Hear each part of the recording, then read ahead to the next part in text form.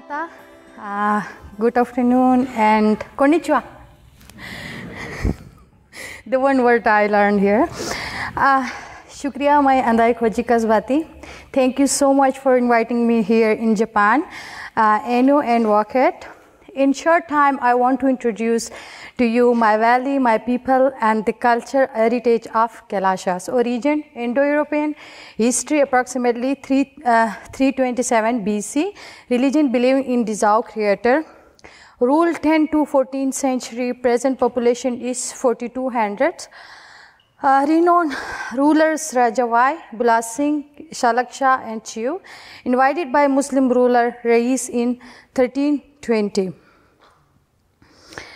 Uh, the Kalasha, uh, sorry.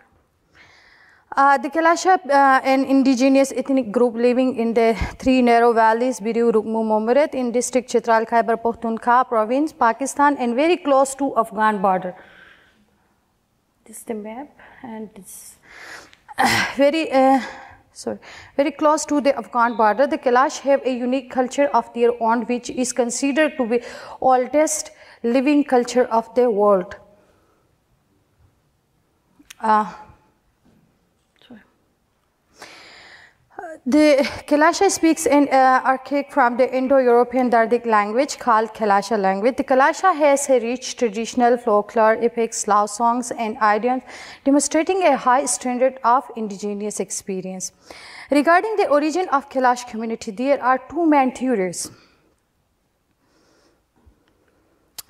Uh, some of the historians consider them that the Alexander of uh, the descendant of Alexander the Great.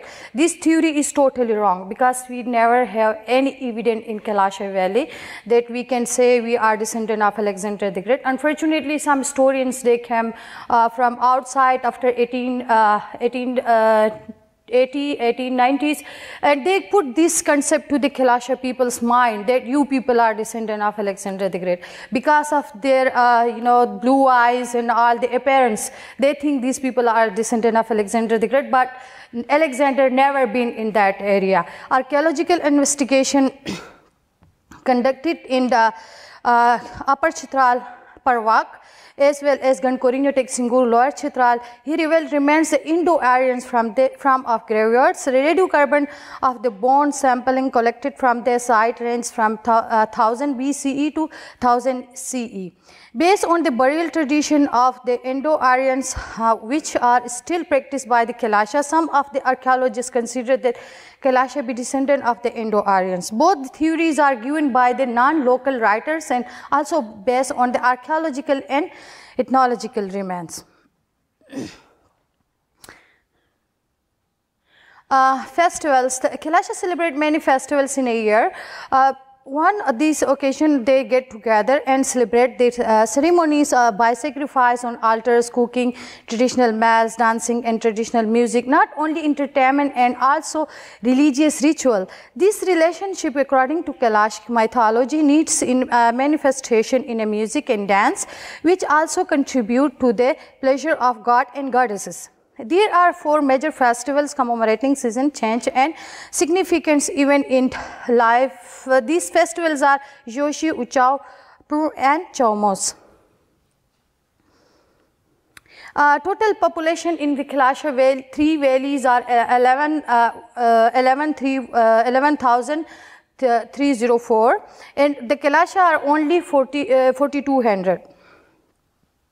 The Kalasha uh, altar places are 21 and the Kalasha temples, are, ancient temple is only one is left now because all the temples are restored uh, by some uh, NGOs and some governments and Kalasha graveyards are six. Uh, now we are trying, my department and we are trying to preserve the graveyard as well because they are the ancient tradition graveyards, there are only six in the three valleys. Uh, common places are seven uh, traditional houses are six and housing clusters are only three. We have only three villages left which are the very traditional villages in the valley.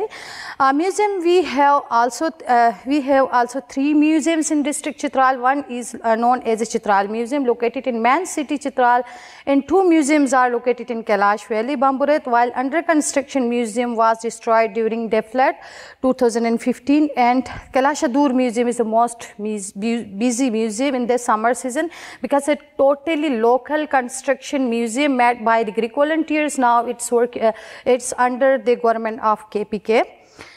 Uh, of course, uh, we have uh, uh, living the most ancient people and our uh, religion is more than 5,000 years old. It's not easy to th only three, 4,200 people survive in the area. So we have some issues also. The Kailasha people of the Kailash Valley, Pakistan are facing some many uh, culture, socio-economic, uh, natural and political issues which are giving as under border security. Unfortunately, we are living just behind Afghanistan, so there are a lot of issues facing we every year. Uh, uh, often, uh, sorry, the Kailasha, uh, the people are often attacked by terrorists across the border. Very recently, some five terrorists were encountered by the killed by the Pak army.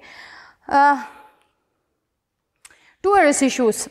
Kailasha Valley is visited by a number of international and domestic tourists every year. Most of them are not very educated. They come just for preaching purpose. Influence of their dress, lifestyle, and language and deeply affected the ancient culture of Kailash. For example, burial system has been changed. We never been in our graveyard because once we goodbye the dead body, we never been in the graveyards. Not our ancestors and not we are. This is, you can see the bones are here, what the tourists really did with the dead bodies and in the graveyards.